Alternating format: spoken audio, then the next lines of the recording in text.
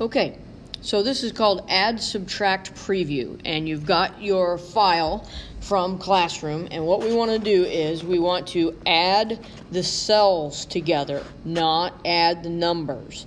So right here in the B column, I've clicked in B7 because that's where we want to put uh, the answer. Okay, so I'm going to scroll on down here, make this a little bit bigger for you.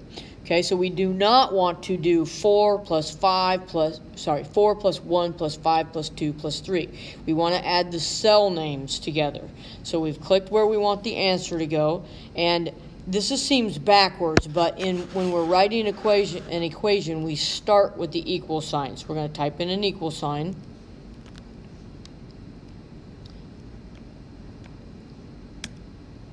You can see down here at the very bottom next to this fx, we've, we've typed an equal sign. You can also see that it's in the box. Okay, so the first cell that we want to include in our equation is B2. So we're going to type B2 and then shift and the plus sign so that we get a plus sign. If you don't hold the shift, you get an equal sign. Okay, we want to add B3 plus B4 plus B5 and we want to do one more plus B6. Now we're in B7, so if we add B7 to our equation and we're in B7, it'll say there's an error there. Okay, so we've got, review it, B2 plus B3 plus B4 plus B5 plus B6. It's down here at the bottom. It's also in the cell. Okay, then hit enter, and the answer is 15. Now you might be thinking, well, I could have done that in my head and just put the answer 15 in there.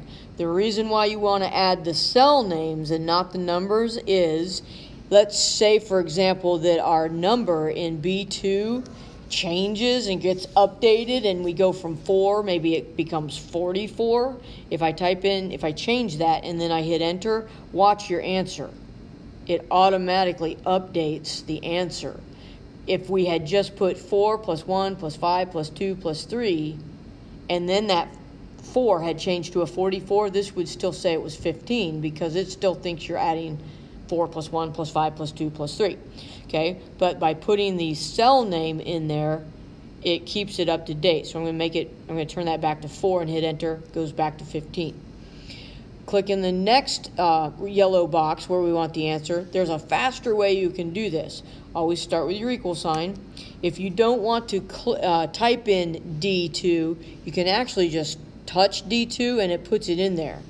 Plus D3, plus, oops, I hit delete. D3 plus D4 plus D5 plus D6. Don't do D7. 29.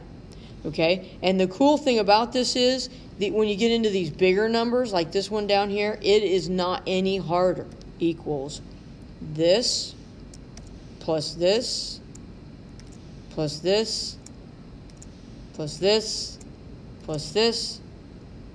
Oops, look, I have a, a plus sign at the end. And then hit enter.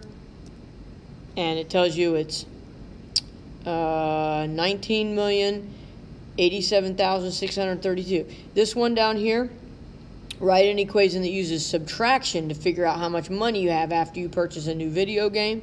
So obviously that'd be exactly the same thing as what we're doing, except use a minus sign equals C20 minus C21, hit enter, you have $32.57 left.